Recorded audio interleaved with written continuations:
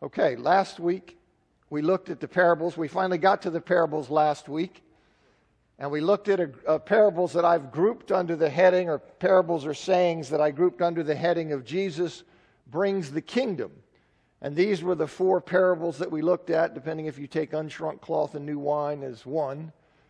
And we looked at those last week.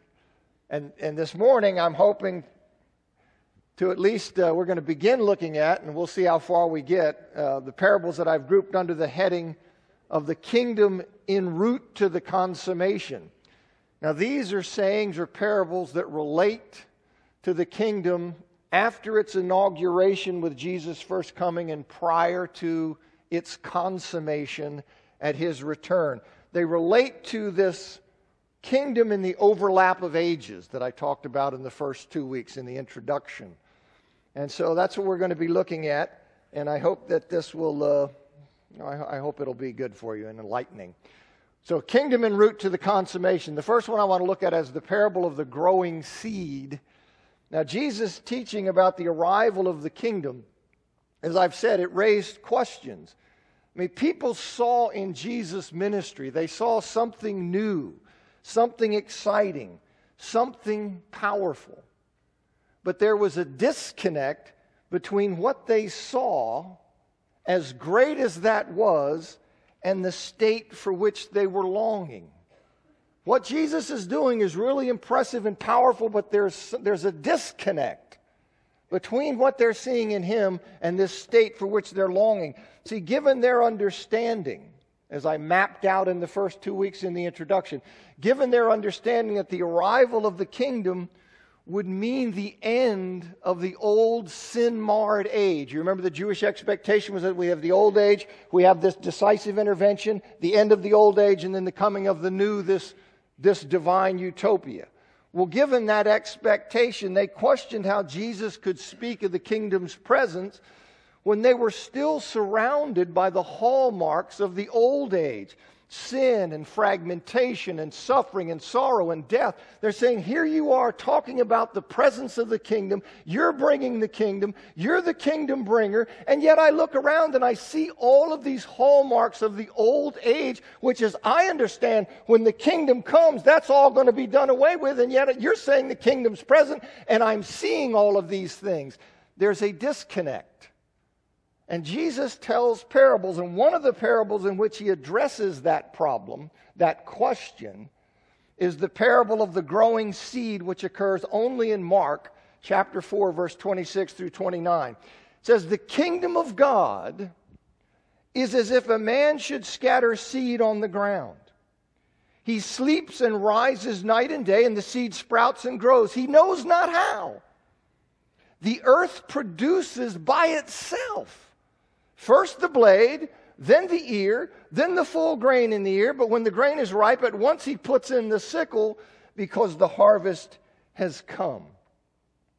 See, the kingdom of God is analogous to the entire scene that's narrated by the parable. In the parable, there's an initial sowing of seed that without any visible cause, meaning by the hand of God, ultimately culminates in the blessing of a crop of grain for harvest. So we have this seeded field, and then it culminates in what? Here's this precious crop of grain that provides food and life. So the seeded field, and then we get this. So this is what he lays out in the parable. See, it culminates in, in an expression of the seed that looks quite different from the initial state, the newly sown field. When we have a newly sown field, that looks like this. Well, that's, you know, not all that impressive. But what does it yield? It yields something that's life giving and very impressive this crop. And that's what he's driving at. See, the kingdom of God is like that in that the kingdom is inaugurated through the complex of Christ's ministry, death, resurrection, and ascension.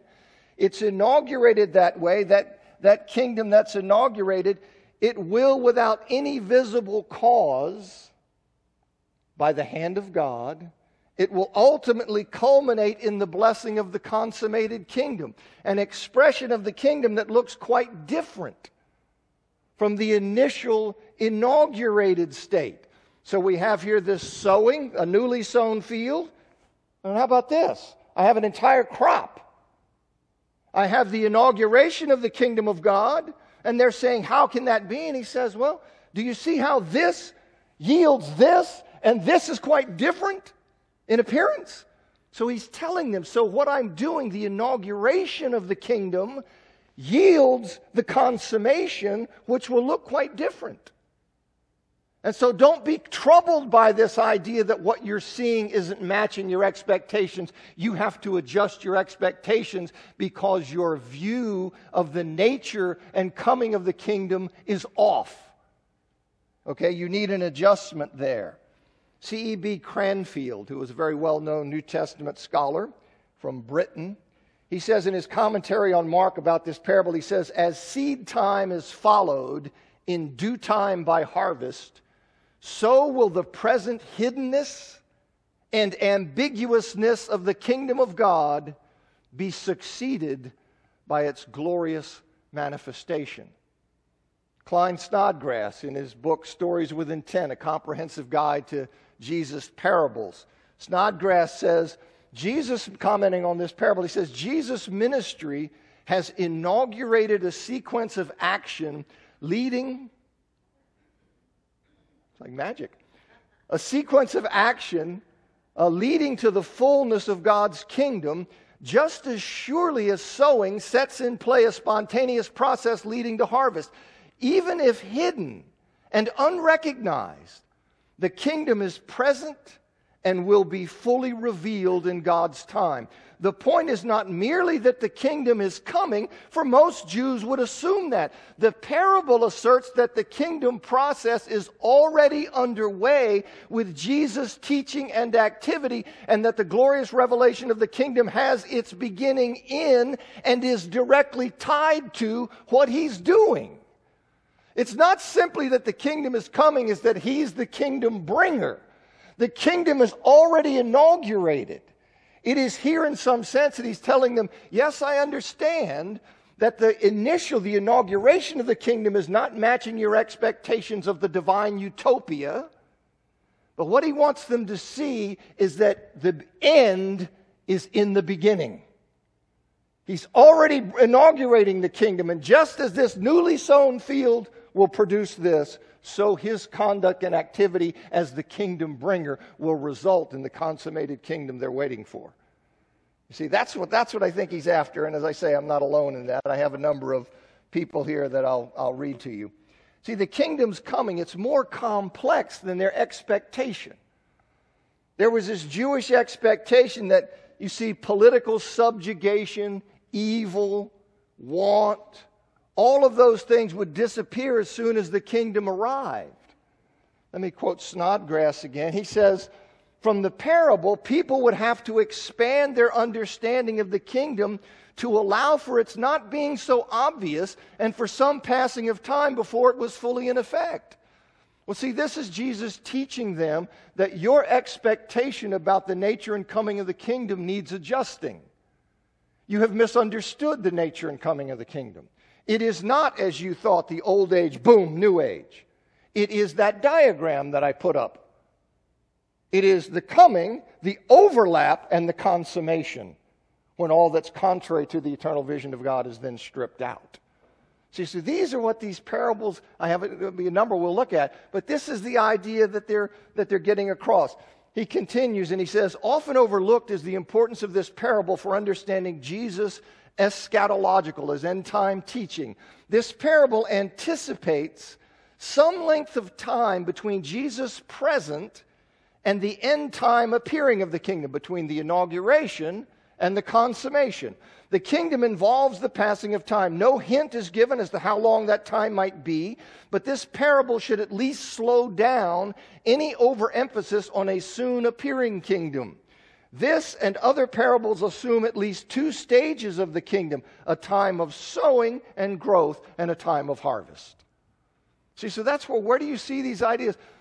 It comes from their expectation and Jesus' teaching where he's trying to correct their misunderstanding about the nature and coming of the kingdom. See, as it is God who, in ways unknown to man, produces the precious harvest from something as subtle and unobtrusive as a sown field, so it is God who, in ways unknown to man, will produce the new heavens and the new earth from something as seemingly insignificant as the ministry of a Jewish carpenter in a backwater of the Roman Empire. You see, here we have, well, this just, this is just, doesn't look like much, but what is it? It is life giving harvest. This Jewish carpenter over here in some little small part of the Roman Empire, what can that be? I see that it looks not like much, but what is it? It is the kingdom coming. And that's the contrast. See, that's the contrast that, that he's after. So, because this is God's work and it's not man's, you see, that's this idea by itself.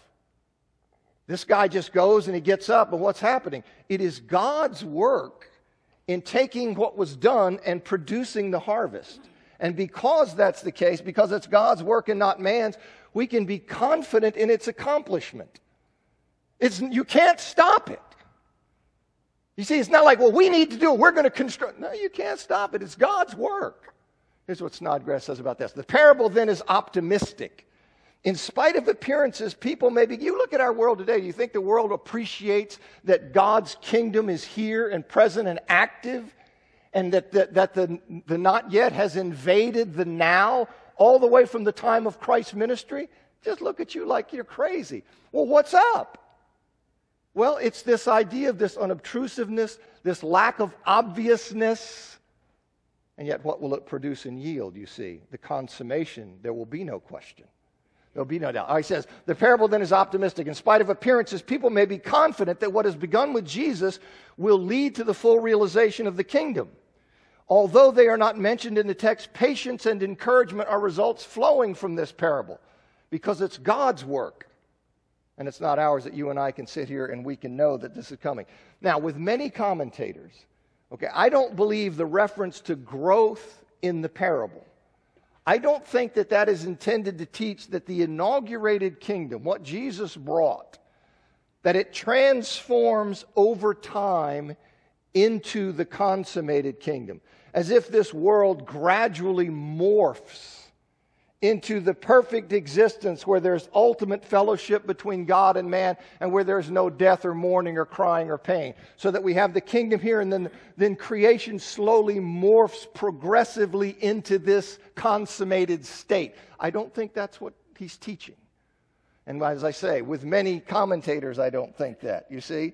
It's clear from Jesus' teaching, some of which we'll look at, and other places in the New Testament also, that the final judgment the expulsion of, of evil, the resurrection, and the transformation of creation, these all occur in conjunction with Christ's return, with the Lord's second coming. In other words, his return will effect, bring about the consummation, which will be a radical change, a heavenization of creation that is brought about miraculously by the power of God. As I read the New Testament, Antichrist will be reigning then. There's going to be great persecution and suffering as I read it. I read a number of places. We, I, we did class on Revelation, so if you were here there and can remember any of that, you know how I see this. So it's not one of these things where you say, well, we're going to gradually grow and transform creation. No. Because when the Lord comes, Antichrist will be there. There's going to be a great deal of evil, and you're going to have this radical transformation. It's not going to just slowly go there. Creation's going to be heavenized. And all evil and sin and those things that are rampant are going to be stripped out. So I don't think that's what's being talked about at all. In fact, as uh, Snodgrass remarks, he says the point is frequently made that the kingdom does not grow, and in one sense, this claim is justified. If the kingdom is defined as God's coming to be king in fulfillment of the Old Testament promises, growth is obviously not pertinent. The kingdom, God's coming, needs no growth. That's not how it functions. God is coming. Jesus is returning, and the kingdom is going to be consummated. So, what's this thing with the growth? What's behind that? What I think is going on is he uses growth, which is a gradual, drastic transformation over time. Right? You, you start here, and then over time, you have a gradual but drastic transformation from the beginning to the end. But it's gradual over time. I think he uses that because there was nothing in their common experience, which is the currency of parables, exhibiting a sudden, drastic transformation after a period of time. So you've got this, this drastic difference, and the only thing that was common in their experience to get there is growth gradually over time instead of drastic transformation suddenly after a period of time. So that's what I think why he's using it, because that's something that they're familiar with. And the point is the God created contrast between the beginning and the end. And you can see that. For example, G.R. Beasley Murray says of, of similar, the similar parables of the mustard seed and the leaven. He's a very well known Baptist scholar. He's dead now. He says, Most scholars agree that the stress in the parable, so when it says most scholars agree, then I'm in good company. Okay, you can disagree, and that's fine. But I'm just saying, when, I, when it says that, you can say, well, at least I'm not odd, and I'm not trying to sell you some idiosyncratic thing, okay? Something I learned on the internet. Uh, I'm not doing that. All right, it says, most scholars agree that the stress in the parables falls on the beginning and the end of the operation of the kingdom, and that the process that lies in between is ignored. You see, this is the idea that what looks uh, not very spectacular, what does it wind up being? Something that is tremendously spectacular. You see, uh, Charles H. H. Scobie, who's a scholar, he writes in The Ways of Our God, an approach to biblical theology, a book published in 2003. He says, The parables of the mustard seed and the leaven do not speak of the gradual growth of the kingdom, and still less of the triumphant progress of the church in history. They are parables not of growth, but of contrast. For they contrast the seeming insignificance of the kingdom at work in Jesus' ministry with its future coming in power and glory. Similarly, in the parable of the seed growing secretly, the emphasis is not on growth, but on the fact with the same certainty as the harvest comes from the husbandman after his long waiting, so God will bring in the last judgment and the kingdom, the consummated kingdom. You see, and I think that's right. I think Jesus is teaching in light of this understanding that was present that we have the age, boom, and the new age. He's saying, no, that's not right. That's not right. You see, yes, I'm inaugurating the kingdom, and the kingdom is a present reality, but it will exist and coexist with evil and suffering and mourning during this overlap of ages until my return when the kingdom is consummated. So you have that. Now, on the other hand, so one way I look at this, I say, look, the growth part is remember, I said in the introduction that there are things, there's an art form in reading parables, and sometimes you have to decide what is simply part of the structure of the parable and doesn't really. Okay, so people are going to disagree about that. But I'm saying this is simply something that is used because of common experience. That's how you get to the contrast. There is nothing in their common experience, which is the currency of parables, that goes drastic transformation after a period of time. You don't go, boom, you see, you have to get there. So this is, this is I don't think that's, the, that's something. But another way of looking at it is that growth does have something in common with a sudden miraculous transformation, in that both are what? They're both mysterious, God given transformations.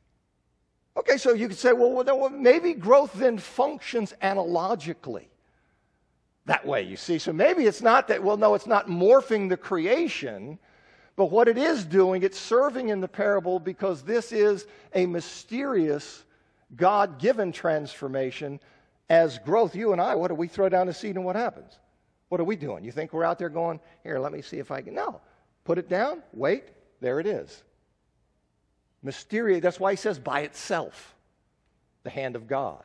Okay, so both are mysterious God given transformations, so maybe it functioned analogically like that. Larry Hurtado, who's a British scholar, he says in his commentary on Mark, the reference to the stages of growth, the stalk, the head, and the full kernel in the head, does not refer to stages of church growth, but simply elaborates the wonder of the mysteriousness God given result of the sower's work. So that's another way of, of understanding. You can say, well, it's just not relevant at all because the focus is really the contrast. Or you can say, no, I think there is a function there. It, it, functions analogically, not that we're going to morph the creation into the consummated kingdom, but that it, it is this idea of this mysterious God given transformation.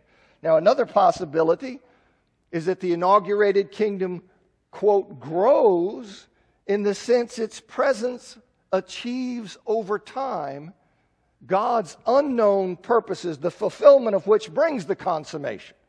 In other words, here's the kingdom, and God is sitting here doing something that you and I don't recognize and appreciate, but it's growing in the sense that the kingdom's presence is accomplishing what in God's mind needs to be accomplished and will be accomplished before Jesus returns. So it could be you can see, well, maybe it's, it's growing in that sense. But I just don't think it works to say that the kingdom morphs the creation into uh, the new heavens and new earth. Okay, so however you want to look at that, any of these things I think will work uh, in understanding the role of growth in there. But the, really, to me, the key is that what Jesus is after is this idea that you're saying, look, you're ushering in the kingdom, the kingdom is present, and it just doesn't look like I'm longing for the, the divine utopia. I'm longing for when God puts all things to rights. I'm longing for the time when there'll be no death, no mourning, no crying or pain, when all of that's done. And I'm looking around and I'm seeing evil politicians ruling, and John is in prison and beheaded, and I see death and murder and suffering and all of this. And so I hear you, but I don't understand. And so he's telling them, this is why you don't understand. Okay. Next one, a parable of the mustard seed. All right, the same point is made here in the parable of the mustard seed, and Mark pairs the parable of the mustard seed with the parable of the growing seed. Jesus says here, he says, With what can we compare the kingdom of God? Or what parable shall we use for it? It's like a grain of mustard seed, which when sown in the ground is the smallest of all the seeds on earth. Yet when it is sown, it grows up and becomes larger than all the garden plants and puts out large branches so that the birds of the air can make nests in its shade. Now, the mustard seed was, of course, it was proverbial for its smallness. It was the smallest of all the seeds that were sown by Palestinian gardeners. And the plant, it grows to a height of 10 feet or more. This is this pretty serious plant. And by the way, that extraordinary size, that explains the non-technical reference to it as a tree in Matthew and Luke. People sometimes season it. That's not a tree, it's a plant. Okay, well, give me a break. Okay, it's, it's non-technically referred to as a tree because of its great size. Now, let me give you Snodgrass's, Klyne Snodgrass's from his book, Stories with Intent, Comprehensive Guide to the Parables of Jesus. Let me give you his explanation I do this because I like it. It helped me. I think it's worth reading to you. I know some people don't like me reading scholars, uh, but I think they're helpful. As I tell people, if you can sit here and listen to me or other teachers, then listen to these guys. They just wrote it. right? I mean, as I say, I could take their words and do that, but when they say something well, I like to just read it to you. All right. He says, nearly all agree that this similitude this is the parable of the mustard seed, which he classifies as a similitude, addresses the implicit question about the unimpressive and unexpected nature of the kingdom Jesus claimed was already present. So you see, he's, he's challenging their concept. He's saying the kingdom's here, and they're going, I see this, I see your works, and I see some of these things, but it's not squaring. It's not squaring with my concept of what it means for the kingdom of God to come. And so he goes on, he says, Was not the kingdom supposed to be a mighty display of God's defeat of evil and the removal of nations afflicting Israel? Jesus' miracles are nice, but where's the rest of the story? Such questions would have gone through the mind of many of Jesus' hearers, whether friend or foe. The mustard seed similitude urges, possibly warns, that no one should be put off by what appears unimpressive. Like the tiny mustard seed which grows to a large plant, so the kingdom is present even if hidden, unnoticed, or ignored, and its full revelation with its benefits will come. The point is that one sees with Jesus, that what one sees with Jesus will lead to what one hopes for in the kingdom. They're longing for the kingdom. What are they longing for? They're longing for the kingdom in its consummated sense, where all things are set right, where there's nothing but perfect love. It's the divine utopia. Don't we want that? That's been the longing of mankind since the fall. And so he says that he says that the point is that what one sees will lead to what one hopes for in the kingdom. The focus is on the organic unity between Jesus' present ministry in Israel and the coming kingdom of God. The end, the end that everyone knows and longs for. See, they were all looking for it. They just thought it was going to be hmm, boom and then. The end that they're all looking for is already in the beginning. The beginning inaugurated by Jesus and now at work. What is at stake with this similitude is a restructuring of Jewish expectation. You see, he's teaching them that you have misunderstood. The nature of the kingdom is as I'm teaching it to you, it is not as you have understood it. That's where your problem is coming. You have a misguided notion about this. You see, you have something that is, uh, is wrong. Snodgrass continues The kingdom which has already begun with Jesus does not come with a glorious bang and the defeat of Rome. Rather, it comes unexpectedly, almost unnoticed. But all that is necessary is already there, and the end is present in the beginning like a seed. You see, it's, it's there. It's not like, well, it doesn't matter. There's no difference. No, there's a great difference because the not yet has been planted in the now. You see, there's a great difference. He says, the focus on the birds dwelling in the branches or shade of the tree should not be lost, regardless of the origin of the idea. In the end, the greatness and benefit of the kingdom will be a pleasant and wonderful reality. That's what, see, that, that's the picture of the birds here. What does it produce? It produces this thing that is this home and this great thing, you see. But it comes from what? It comes from that very small seed. Arland Hultgren, another New Testament scholar, in his book on the parables of Jesus, he says the parable would most likely have been told in response to the question how could the ministry of Jesus and his disciples have anything to do with the kingdom? Well, what would prompt that question? Because they say, hmm, come, and that's it. I look around, you're talking kingdom, I'm looking around, and what am I seeing? Death and all the things I've talked about. I see all the hallmarks of the old age still here. And yes, indeed, you will, because it's an overlap of ages. You see, so he says that how could the ministry of Jesus and his time have anything to do with the kingdom? The glorious kingdom of Israel's expectation has not arrived. The consummated kingdom. No death, no mourning, no suffering, no crying, no pain, nothing but pure love, perfect fellowship with God.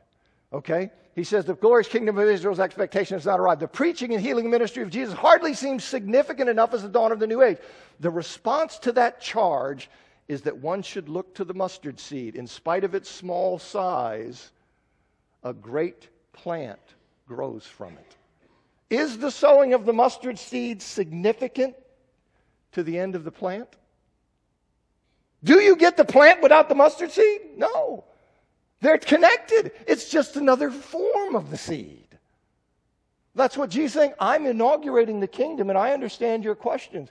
But what I want you to see that the end is in what I'm bringing. The end is here. It's right there. Donald Hagner in his chapter on Matthew's parable of the kingdoms in the book, The Challenge of Jesus Parables. Hagner's a well known New Testament scholar. He says the point of the parable is simply the miracle of nature symbolized by a mustard seed which develops from the smallest of beginnings to an astonishing fullness. In the same way, the kingdom has begun inconspicuously, yet it has begun. It has begun, and that's very important. And in the end, its greatness, when compared to its size at its beginning, will provide as amazing a contrast as that between a mustard seed and a full grown mustard plant.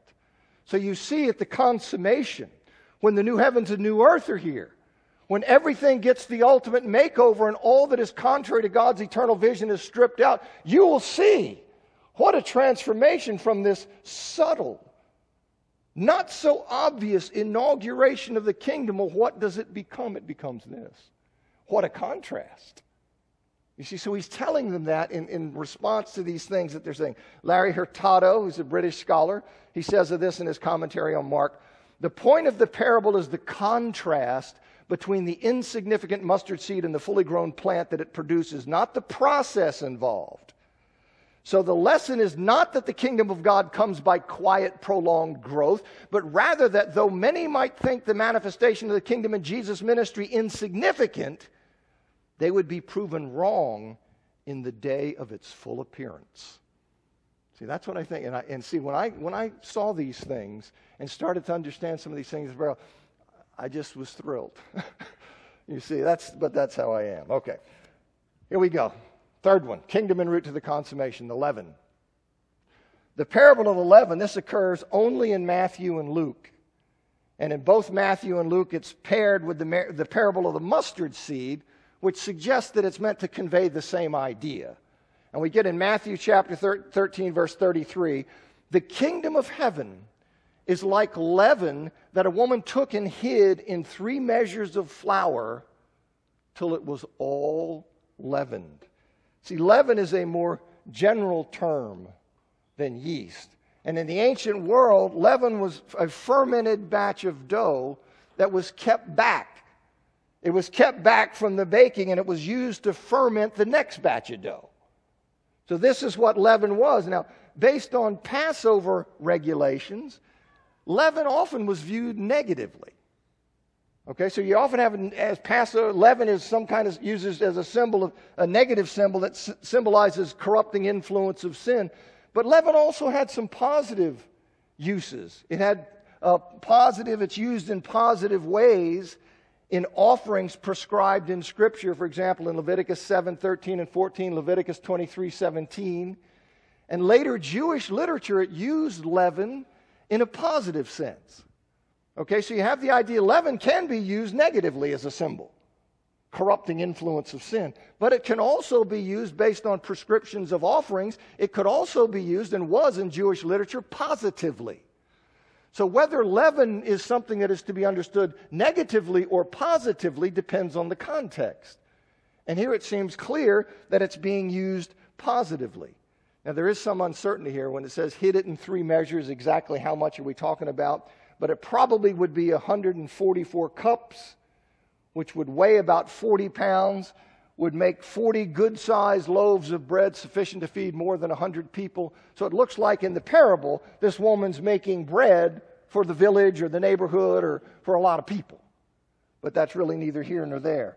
But the, the similarity to the parable of the mustard seed and the parable of the growing seed, it should be obvious what he's talking about. David Wenham, who's the fellow who taught at Oxford for many years, he says, The kingdom of God, which Jesus brought, seemed unimpressive to many people.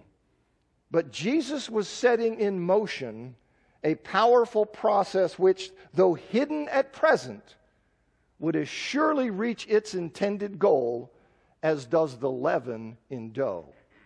You see, we got this little bit of leaven we got here, in it goes, and what does it do? It affects everything. It transforms the entire thing. So here comes Jesus with the leaven of the inaugurated kingdom. And what does it do? It ends up with what? Something that has infected the entire thing. You see, that's what I think he's driving at. Snodgrass, Klyne Snodgrass says, this similitude is directed at doubts concerning Jesus' proclamation of the presence of the kingdom. What people thought should be happening was not happening, even though parts of Jesus' ministry did fulfill expectations. The point again is that what you see with Jesus is the beginning of what you hope for in the kingdom and will surely lead to it.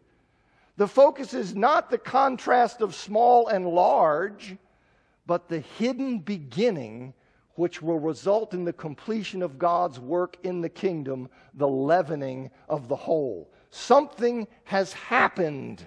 Note the aorist, that's a tense in Greek. Something has happened and will have its full effect. See, what Jesus has done is not, well, you know what? No. What Jesus did is, is crucial, indispensable. He brought the kingdom.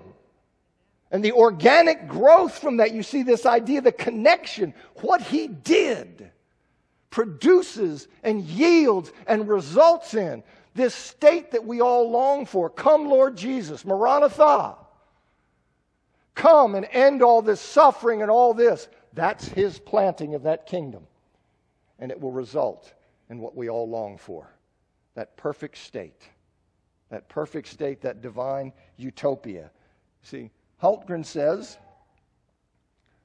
Ar- Arland Hultgren, New Testament scholar, he says, on the essential interpretation of the parable, there is widespread agreement. I always like to say that. I'm with these people. Okay? There's widespread agreement. So I'm standing in the widespread agreement. Okay? That is that the kingdom of God, though hidden, is an irresistible force inaugurated by God that will have its way and transform all of creation. It may seem hidden, and indeed is, but one can have confidence in God's will and power to bring it about. Donald Hagner says both the parable of the mustard seed and the parable of the leaven speak of that which appears initially to be insignificant and of no consequence, but which in time produces an astonishing and dramatic effect. The kingdom of God is like yeast in this way, for although at its beginning it may look unimpressive, it will have an effect that is out of all proportion with that beginning. As I say, a Jewish carpenter in a backwater of the Roman Empire that most of these people wouldn't be able to find on a map. Now, what's happening there? Can't be anything serious. Au contraire. Au contraire something tremendously significant is happening there. The Son of God is bringing the kingdom of God. You see? That's what Jesus, and Jesus is trying to get them to understand this. I won't have time to get through this since it's looking up there like I got two minutes. And here I never know what to do, but hey, we're going to go ahead. All right, wheat and the weeds. Parable of wheat and the weeds. This appears only in Matthew. Only in Matthew, and it's one of only three parables that's given a detailed itemized explanation. The other two are the parable of the sower and the parable of the net. And Jesus says in Matthew 13, 24 to 30, the kingdom of heaven may be compared to a man who sowed good seed in his field. But while his men were sleeping, his enemy came and sowed weeds among the wheat and went away. So when the plants came up and bore grain, then the weeds also appeared, appeared also. And the servants of the master of the house came and said to him, Master, did you not sow good seed in your field? How then does it have weeds? He said to them, An enemy has done this. So the servants said to him, Then do you want us to go and gather them? But he said, No, lest in gathering the weeds you root up the wheat along with them. Let both grow together until the harvest, and at harvest time I will tell the reapers, gather the weeds first and bind them in bundles to be burned, but gather the wheat into my barn. Now, the weed that's employed in this first century equivalent of industrial sabotage almost certainly was darnel. That's the weed.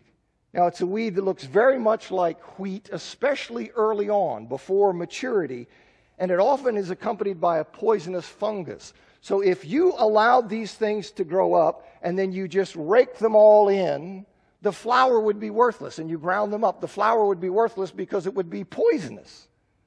So this is something you have here. And this kind of sabotage, it wasn't that common, but it was common enough that Roman law specifically prohibited it. Where you would have rival farmers, and this guy be saying, okay, I'm going to total your crop.